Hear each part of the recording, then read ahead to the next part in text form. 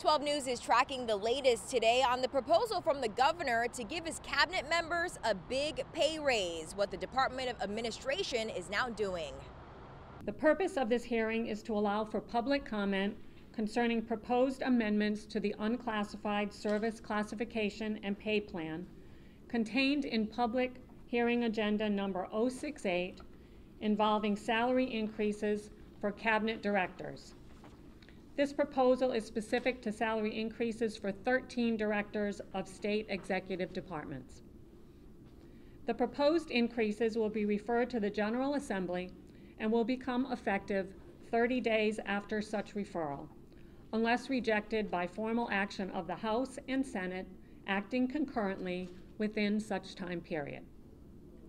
This is both a live and virtual public hearing, and we expect that the hearing will run smoothly, yet ask for your patience and cooperation as we navigate this process.